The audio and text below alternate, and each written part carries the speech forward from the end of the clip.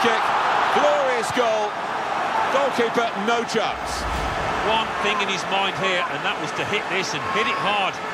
He did it beautifully.